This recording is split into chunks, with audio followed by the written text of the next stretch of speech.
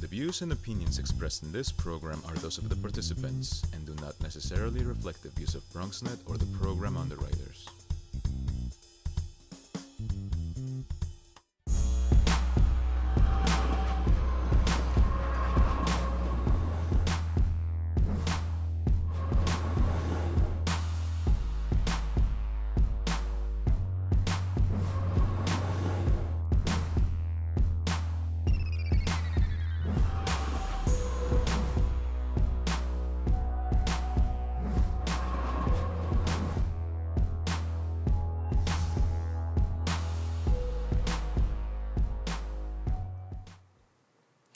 Hello and welcome to Open 2.0. I'm your host, Henry.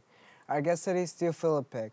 He has worked in video games, scripting, book editing, game design, and so much more. Welcome back to the show. Well, thank you for having me. I'm really glad, uh, happy to be here. So, Steele, you're a producer and a writer? Uh, that's Is that correct, yes. All right, would you tell us what was the most challenging project or con- content that you've worked on?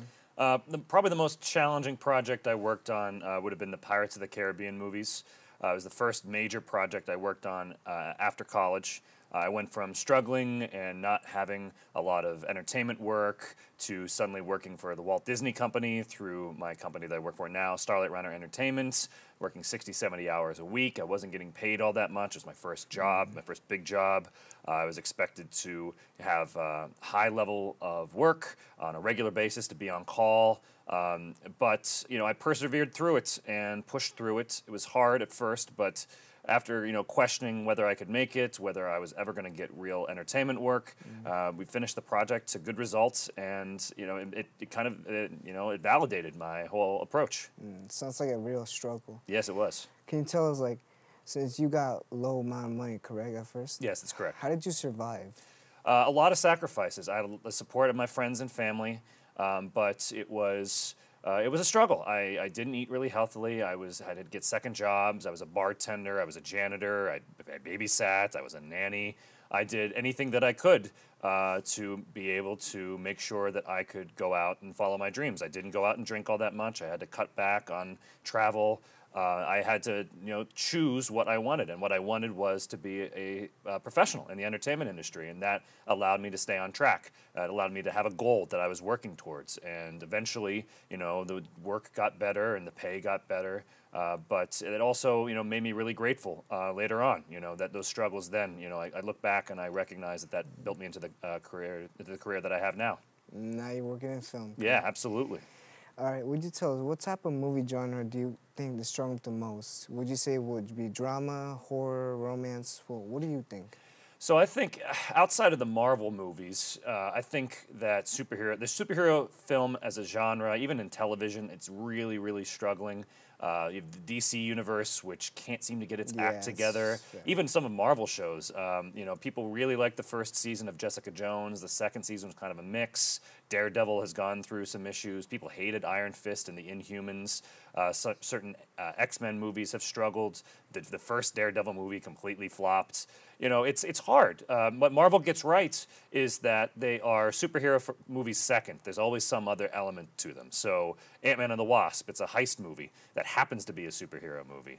Um, they have uh, Black Panther. Black Panther is a political drama uh, first, and uh, it's a superhero movie second. It's ditto Captain America. You know, they, they have these things. But other, other than that, if you don't have the right creative talent behind it, it's really hard to make an interesting superhero movie because at the end of the day, it's just about a bunch of people beating the tar out of one another.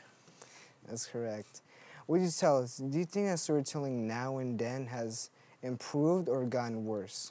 Uh, I think that the democratization of content has really opened up the floodgates for independent producers to create content that wouldn't have been possible before. There used to be three television channels. Now there are hundreds, and that's just on cable, let alone streaming video and YouTube. And uh, you know, go through that with music and film and video games. You know, and on one hand, it's great because you have people who would, would not have been able to produce content before now able to do it in their spare time. Uh, a lot of people, uh, Undertale was created essentially by one individual, and now he's, you know, a, a, a rock star in the video game uh, world. But at the same time, that means that there's going to be a lot more content out there. Uh, Netflix, when they first started out, everybody said, "Oh, they can do no wrong. Every television show they do is great. It's House of Cards and Orange Is the New Black and the new Arrested Development." Now you know, people look at Netflix as kind of this mishmash of a bunch of content just because there's so much out there. I think you know there is there's better content, there's more better content out there, but there's also more worse content just because there's more content uh, than ever before. All right. Um, would you tell us, with all these contents that are struggling, how do you think they can improve on themselves? Uh, content creators, I think the number one thing to do to improve yourself, to improve your writing, to improve your work is to just do it. To uh, not focus on making the best thing, but just going out and doing it and being free to fail. We have so much technology uh, in our hands, literally on our fingertips, on our phone. Uh, we can uh, shoot a movie, we can audio, uh, do audio for it, we can edit it, we can distribute it. You know, it was before, you know, I was I was taught how to edit on a Steenbeck, you know, on literal, on film, and you'd cut it and splice it together. And now you can do that on the phone, just going out and doing work with working with your friends, taking a, a Saturday instead of going out and getting drunk or partying. Uh, getting together four people and working on a screenplay together, working on four different screenplays, four different four-minute mm-hmm. shorts. You get that, you've got you know, four shorts that you can go out and shoot, and you can work on your own uh, pieces. You know, just focusing on focusing on your craft and creating content and learning uh, so that when your time comes, you're ready to take that opportunity and seize it because sometimes it only comes once. Mm. So working with what you got. Mm-hmm. Yeah, absolutely. Have you done anything like that? Yes, absolutely. Uh, one of the uh, pieces I worked on uh, is an audio drama called Queens of the Sapphire Sea. Uh, it was uh, me and two other producers. We were we wanted to have an outlet to create a show like a television show, and we wanted to have a, a writers' room to be able to work on content and with that audio drama, we were able to hire actors and record them and do pretty much everything you would do in a television show, except it wasn't it wasn't filmed. We just you know recorded the audio, and we had a lot of inspiration. New York was the, uh, one of the birthplaces of audio drama, radio drama back in the 30s and 40s, uh, with WCBS and WNBC and we looked into these archives and we realized we could just we could do it. And it, was we did not expect it to uh, turn a profit but we've gotten you know thousands and thousands of hits uh, from people who want to download and have adventure and experience excitement in a way that only audio drama can present it. And it's you know it's gotten me work it's gotten my other producers work it's just been a lot of fun and that was from three guys who decided let's do something together that we can you know that we can control what a way to start. Yeah. All right, thank you. We have to take a quick break, but stay tuned for more Open 2.0 right after this.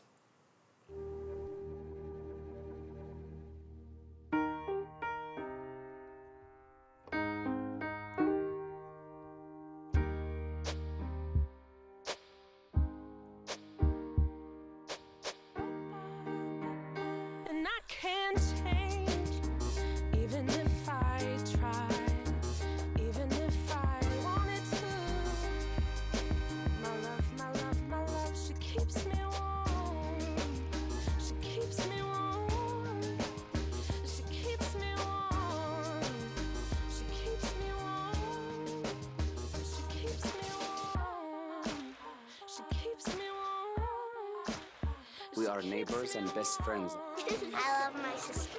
My heart, my heart doesn't, doesn't, see race. race. Love is love. Our family is no less than any other family.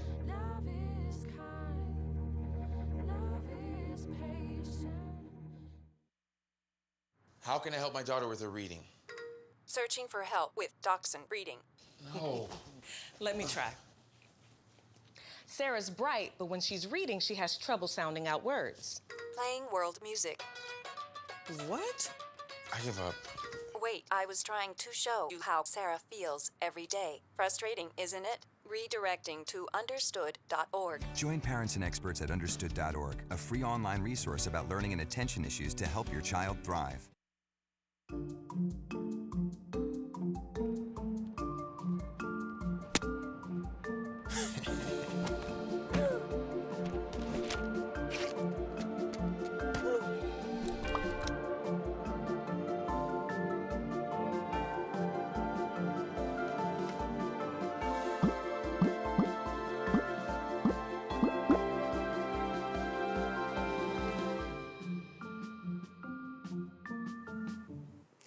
Welcome back to Open 2.0. We just we continue with Steele Filipek. Okay.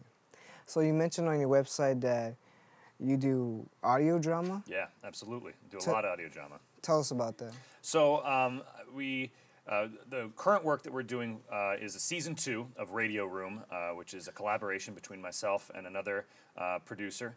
Uh, I'm also uh, starting up a, a nonfiction podcast called Building a Better Story World, uh, produced uh, right here at Lehman College.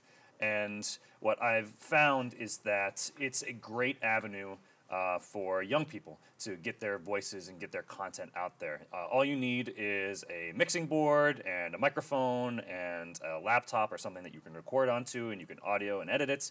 And the budget is really, really small. You find a niche, you find something you're passionate about, whether it's audio drama or it's cooking or it's politics and you just talk about it and you can edit that together fairly quickly and there's something for everybody and because the budgets are so low and because it's about passion you know you can record a month's worth of content in an afternoon in a day and then slowly stagger it out and get advertisers and you know if you have if you have a comic book that sells 2000 copies you're kind of struggling if you have a podcast that's getting 2000 copies uh, 2000 downloads you're on the way up you know it's a great way to get content out there Okay.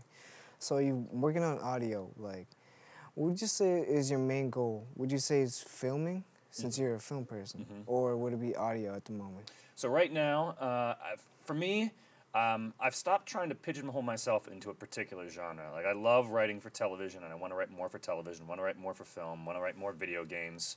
Uh, but what I've come to discover is that I like working in multiple media. I like what audio drama can do that film can't. Each of these media uh, has a strength that the other does not, and they all have weaknesses too. And part of the fun is working with that weakness. With audio, you have no visual. Uh, so you have to be able to set the scene, set the tone, set everything with just uh, voices, a little bit of music, and a little bit of sound effects. And that's exciting because in film it's all visual. You know, you have dialogue, and obviously, you know, Aaron Sorkin will write a 200-page script, and just people like chatting back and forth with one another. But it's also you know amazing to write something that's purely visually driven, and I like that challenge. I like being able to switch uh, from place to place. And that was also one of the reasons that I was able to begin to succeed because I was uh, able to write in these different formats. So that would be my advice to other people. You know, if you want to get into the industry, uh, just you know, don't say no. Try to say yes. Try to push your boundaries and feel free to fail. Okay, well, thank you. Unfortunately, that's all the time we have for today. Thank you, Steele, for joining us, and thank you for tuning in. Thank you can catch more to Open 2.0 on BronxNet. Until next time, I'm Henry. Thank you very much, right, sir. thank you, sir.